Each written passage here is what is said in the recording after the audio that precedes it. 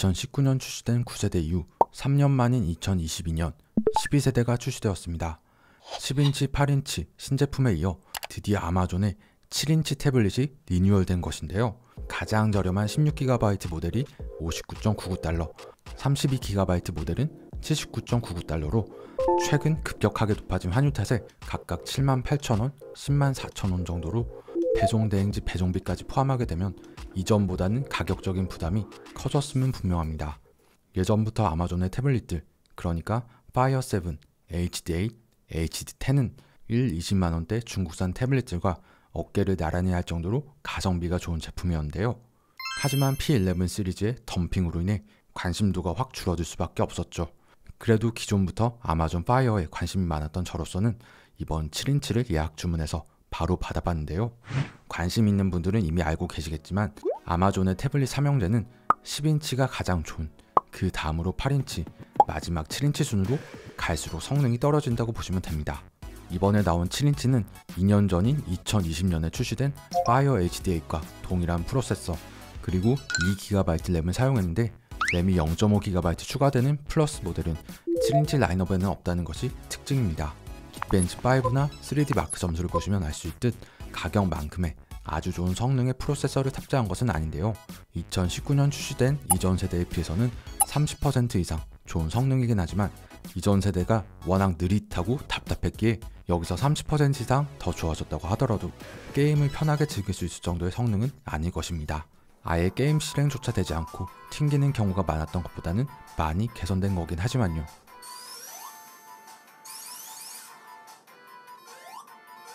일반적인 사용 환경에서도 그렇게 부드러운 화면 전환 효과를 보여주지는 못합니다.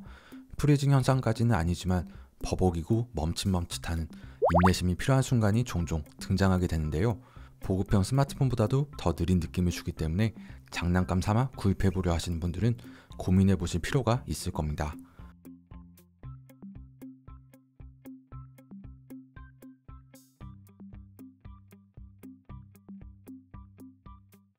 정가에 사시기보다는 연말이나 프라임데이 등에 39.99달러로 풀리는 경우가 있으니 그때를 노려보시는 게 좋으실 거고요. 생각보다 할인이 자주 들어가기 때문에 충분히 여유를 가지고 기다려보심이 좋습니다. 아마존 toolbox를 이용해서 잠금 화면에 아마존 광고를 제거하고 아마존 기본 앱들을 제거할 수 있는데 그러한 작업을 거치더라도 아주 쾌적한 느낌은 아니고요.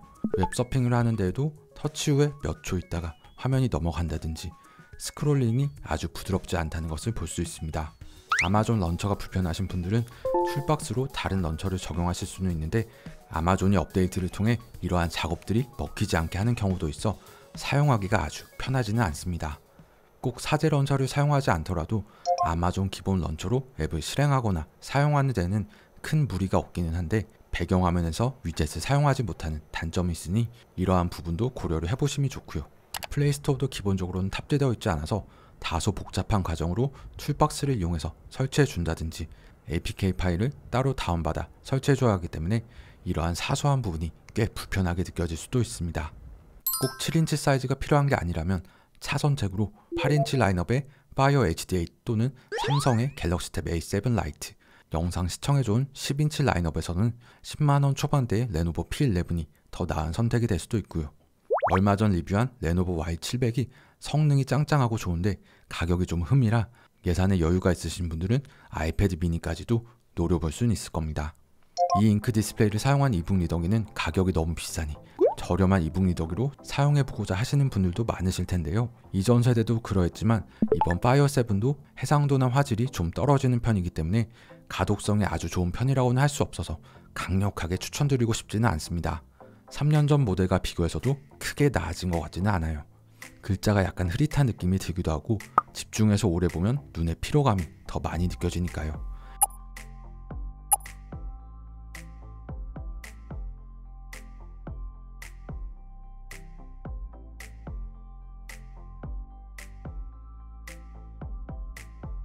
이놈은 주 용도가 킨들을 사용하라고 이렇게 싼 가격에 푸는 거긴 하겠지만 해상도나 디스플레이 품질 때문에 되도록이면 최소한 파이어 HD8 이상은 구입하라고 권장드리고 싶습니다.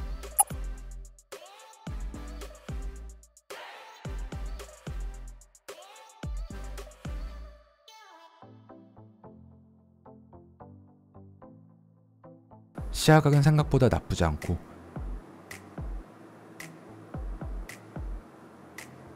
베젤 두께가 두껍긴 하지만 두터운 덕분에 오히려 한 손 그립감은 좋은 면도 있지만요. 이전 세대가 직사각형의 각진 느낌이었다면 이번 12세대는 둥글둥글한 느낌으로 그러니까 20년에 출시된 8인치와 비슷한 family look으로 제작되었습니다.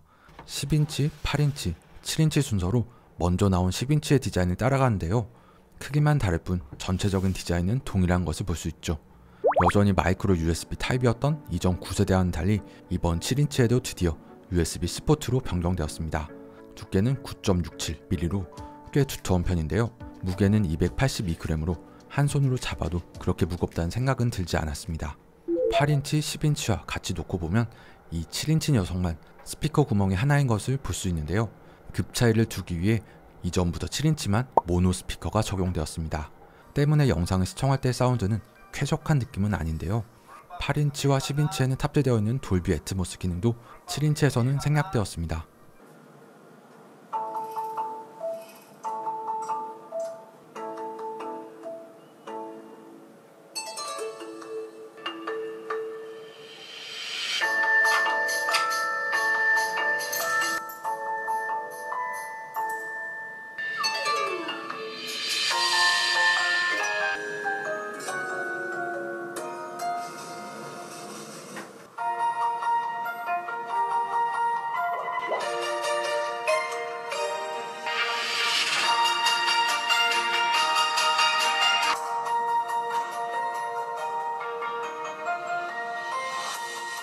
블루투스는 당연히 있고 3.5mm 이어폰 잭을 이용해서 아쉬운 스피커 음질을 달래볼 수는 있겠지만요.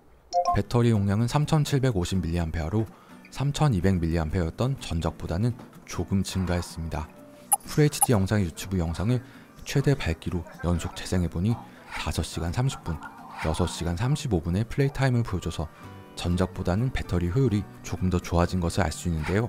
8에서 9W 정도로 충전이 가능하고 완충하는 데에는 2시간 30분 정도가 소모되었습니다. 완충에 4시간 정도가 걸렸던 전작보다는 훨씬 양호해진 것이죠. 충전기는 고작 5W 충전기가 기본으로 제공되는데 가지고 있는 10W 정도의 고속 충전기를 사용하시는 게 더 나으실 겁니다.